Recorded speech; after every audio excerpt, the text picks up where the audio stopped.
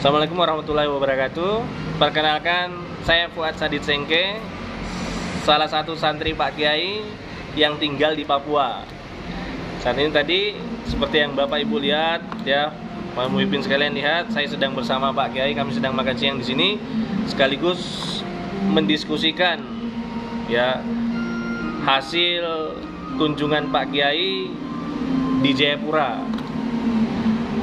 Nah, saya teringat persis di sana itu Pak Kiai menyarankan kepada kami tentunya santri-santri beliau yang di Jayapura untuk membuat satu perusahaan yang bertujuan untuk membantu pemerintah dalam meningkatkan kesejahteraan maupun taraf hidup penduduk asli Papua. Dan alhamdulillah kami melihat ide ini sangat menarik karena tentunya kami belum melihat perusahaan yang uh, benar-benar care yang benar-benar bergerak di bidang sosial tentunya. Artinya tidak hanya sekedar mencari laba tidak hanya sekedar mencari profit.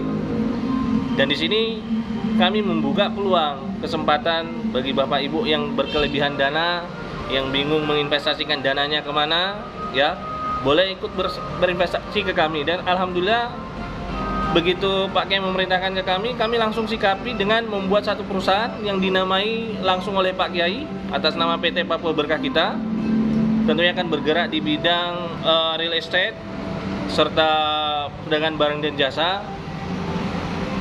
Jadi Bapak Ibu yang mau berinvestasi tentunya uh, bisa menghubungi saya di nomor 08134316 9449 Nanti untuk info lebih lanjutnya kami akan sampaikan ke Bapak Ibu program-program apa saja yang akan kami lakukan tentunya. Jadi kami pastikan Bapak Ibu dengan menginvestasikan dana insya Allah dana Bapak Ibu aman karena kami kerja amanah insya Allah. Kemudian kami tidak hanya memberikan profit tadi melainkan ada kegiatan amal juga di dalamnya dan tentunya perusahaan ini baik dari awal dibuat sampai dengan berjalannya nanti kelak semua akan di uh, awasi langsung dengan oleh Pak Kiai. Jadi semua kegiatan kami akan kami laporkan ke Pak Kiai untuk meminta arahan dari beliau agar pekerjaan kami ini bisa terarah tentunya biar bisa berjalan uh, sesuai dengan uh, pemikiran atau ide-ide dari Pak Kiai. Karena tentunya Alhamdulillah saya sangat bersyukur bisa kenal sama beliau bisa diarahkan seperti ini. Setidaknya saya bisa turut serta uh, dalam uh, membangun ataupun membantu uh, pemerintah.